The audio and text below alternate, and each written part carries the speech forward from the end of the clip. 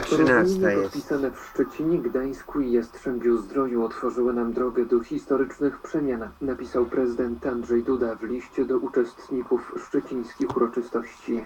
W stolicy zachodniego Pomorza trwają obchody 36. rocznicy podpisania porozumień sierpniowych. Prezydent Andrzej Duda podkreślił, że solidarność i stanowczość protestujących stały się siłą, która wstrząsnęła podwalinami komunistycznego systemu. List Radio minister Małgorzata ruchome, szef radio Kancelarii Prezydenta obrotowe, godzina Po raz pierwszy w 13. Europie Środkowo-Wschodniej opór wobec reżimu przyniósł konkretne zwycięstwo podpisanie porozumień sierpniowych. Jednym z ich najważniejszych punktów było powołanie niezależnych związków zawodowych.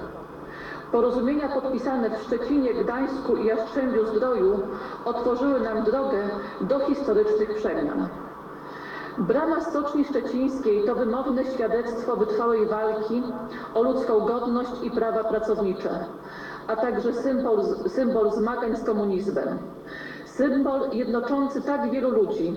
Uroczystości ze Szczecina przeniosą się do Polic. Tam o 15 zostanie odsłonięty pomnik, który uhonoruje ludzi Solidarności. Główne obchody z udziałem prezydenta Andrzeja Dudy odbędą się jutro w Gdańsku.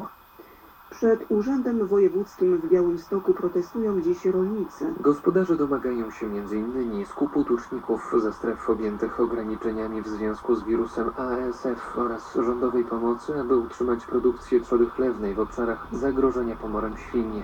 Ponadto rolnicy postulują, by władze zajęły się kwestią afrykańskiego pomoru dzików. Rzecznik Polskiego Związku Zawodowego Rolników Mariusz Nackowski zwraca uwagę, że problem ten jest w Polsce bagatelizowany.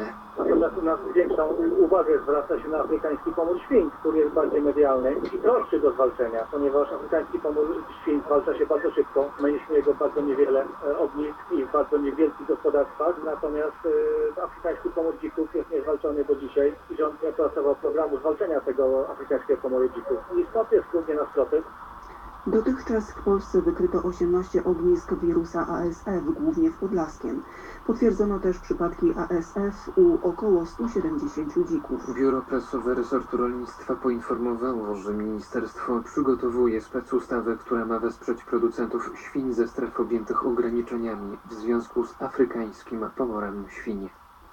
Wicepremier i minister rozwoju Mateusz Morawiecki chce przyciągnąć do Polski firmy, które planują opuszczenie wyspy w związku z tzw. Brexitem.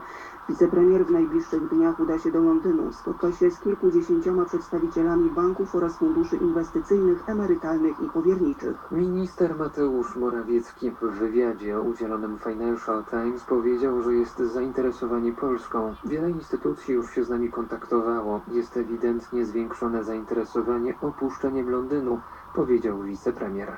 Zapewnił też, że Polska jest skłonna zaoferować dodatkowe zachęty dla inwestorów, między innymi przygotowując granty na przeszkolenie nowych pracowników. Cezary Kaźmierczak, prezes Związku Przedsiębiorców i Pracodawców, spodziewa się, że firmy z londyńskiego City ulokują się w jednym miejscu. Zwracał uwagę, że walczą o to Niemcy i Włochy. Ekspert pozytywnie ocenia starania polskiego rządu. To, że Polska uczestniczy w tej grze, to już jest w ogóle bardzo dobry jakiś znak, niezależnie od nawet od mm, wyników i rozstrzygnięcia, jakie ostatecznie nastąpi.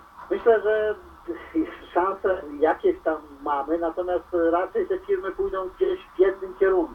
Czy, czy to będzie Frankfurt, y, czy, czy to będzie Mediolan, e, czy Warszawa. No ja bym chciał, żeby to była Warszawa oczywiście, bo to za- zapewni dość poważne wpływy dla budżetu, będzie trochę miejsc pracy, no i też y, jakby no bardzo jakby wzmocni nasz kraj pod względem takim y, wizerunkowym.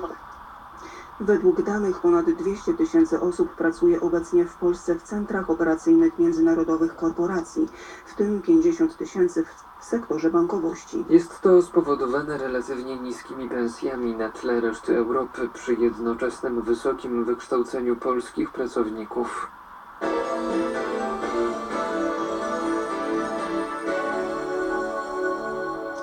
Liczba migrantów przedostających się nielegalnie z wybrzeża Turcji na greckie wyspy na Morzu Egejskim w ciągu ostatniej doby była największa od marca, poinformował grecki sztab do spraw kryzysu migracyjnego. Przez ostatnią dobę na terytorium Grecji dostały się 462 osoby, To najwięcej od marca, kiedy weszło w życie porozumienie między Unią Europejską a Turcją o odsyłaniu nielegalnych, nielegalnie przybyłych migrantów, podkreślił sztab w Atenach. W ostatnim tygodniu do Grecji przybywały średnio 74 osoby dziennie.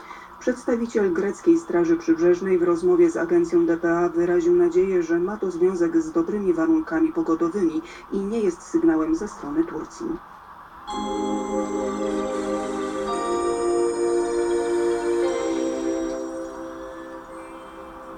Kraju zachmurzenie małe i umiarkowane. Na północnym wschodzie i w Karpatach okresami zachmurzenie duże i przelotny deszcz.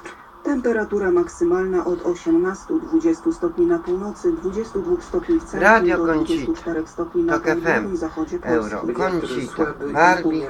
Baby, kraju Extra. Do tej kancelarii Królewiak z Łodzi jeszcze dotrzemy. 60 Muszę odszukać ten godzinę. list.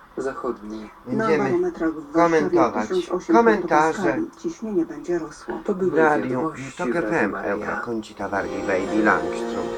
Ekstra.